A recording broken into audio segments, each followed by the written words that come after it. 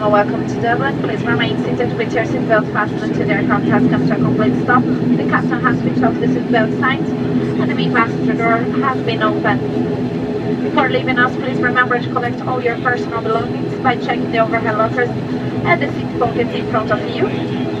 Please be extra careful when opening overhead lockers as cabin bags may have moved during the flight and could fall out causing danger to you or a fellow passenger.